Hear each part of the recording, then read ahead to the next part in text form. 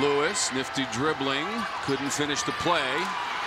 Work on the offensive glass for the Orange and a much needed basket. Jaldi Tabdi. Cooper misfires. Jaldi Tabdi sent it right back to her. Now Lewis wants a three. She hits it.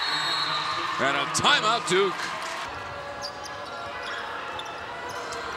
Out of the corner. Fouled on the three-point shot.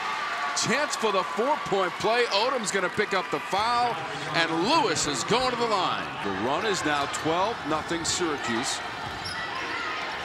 Over the last two minutes and change. And again out of that corner. Lewis. The tide of this game has turned dramatically in the third quarter.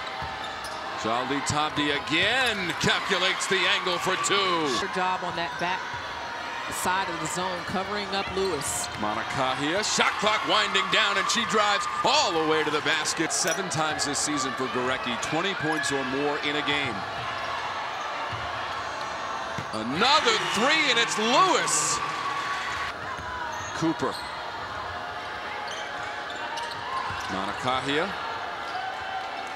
Strautmane tees up the three. It's contagious. Drummond dribbling out of that corner and attacking the basket. Shot clock to seven. Drummond trying to work out of that corner again. Mangakahia, one look at the shot clock and hits the three. Tiana Mangakahia. Seven point lead for the Orange. Mangakahia, she's got the layup. Go, that could do it for the Orange. What a comeback after trailing by five at halftime.